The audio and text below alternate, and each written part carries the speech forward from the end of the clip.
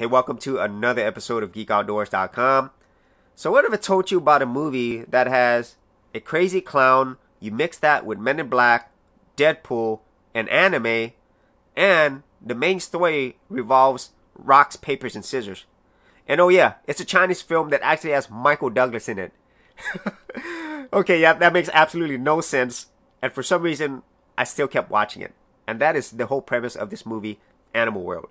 Now, this is a movie that obviously I've never heard of before. I just happened to stumble onto Netflix like I usually do, and I went ahead and decided to watch it, and I just couldn't stop. and and so um, the story revolves around this main character Zheng. You know, he's basically having rough times. His mom's sick. He doesn't have any money.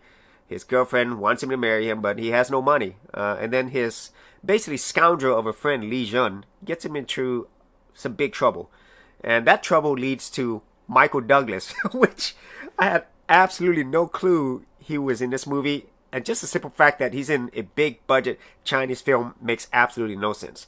And he does speak English throughout the whole movie. And a lot of the other characters in this movie, they are from different nationalities. And so, from the very beginning of the movie, the main character Zheng says that he's crazy. And I would say for the first half of this two hour long movie, you do feel like you're going crazy because you don't know what you're watching You know, there's action scenes, there's fights in the subway. He's a clown in some alternate weird alien animal universe, which makes no sense. And then, whenever his friend gets him in trouble and he finally meets Michael Douglas, who is basically the boss of this dark organization, that's when things go absolutely nuts. And it isn't until the second half where you really start to understand, I guess, what the whole movie's about.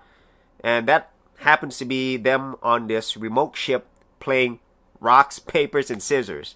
Yeah, that makes no sense at all.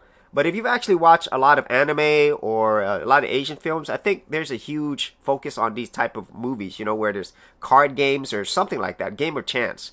Uh, so that goes into the whole, I guess, genre of like the battle royale movie. Have you ever seen that in Japan and here in the U.S., the Hunger Games? So it's very similar to that, and that's the whole story. I mean, it's basically about this character who's trying to survive in rock, papers, and scissors, and then how uh, much of a genius he actually is.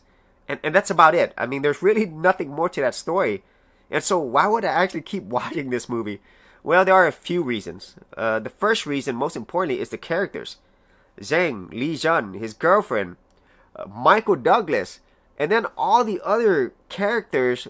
Once you meet them on these rocks, paper, scissors games, you really grow to love them. You get you get attached to them. It's it's really much like watching an anime, a really good anime. And that's why I couldn't stop watching because I just wanted to see what would happen to these characters.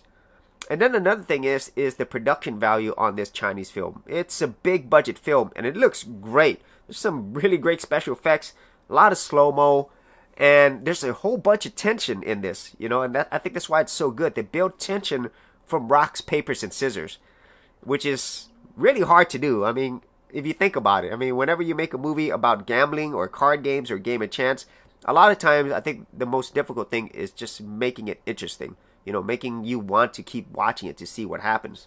And that's pretty much what happened to me after I watched this whole thing. You know, it has so many different elements. There's a fantasy element. Uh, there's the whole thriller element. Uh, there's just a lot of stuff mixed in. There's comedy but it's just fun. I mean, it, it's a fun movie, and I will say that it is definitely not for everyone because you're not going to get a normal narrative, a normal story. You know. So anyway, it was a good movie. It was a very unexpected surprise, and at the same time, by the end of the movie, I will never look at rocks, papers, and scissors in the same way again. And so that is for my review of Animal World. If you have seen this movie, let me know what some of your thoughts are. And also, if there are other movies that are similar to this or even anime that you're seeing, I'd like to know that as well.